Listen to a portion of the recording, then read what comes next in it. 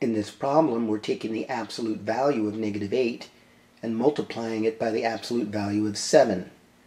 The first thing we have to do is to determine our absolute values. The absolute value of negative 8 is 8 because negative 8 is 8 places to the left of 0 on the number line.